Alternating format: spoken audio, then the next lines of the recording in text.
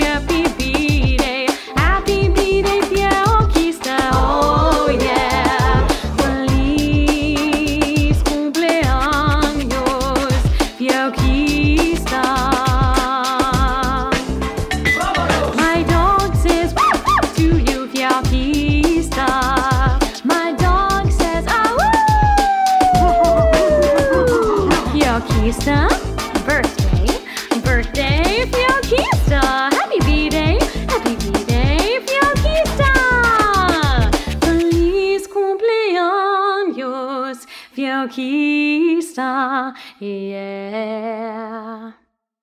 One happy birthday dot com.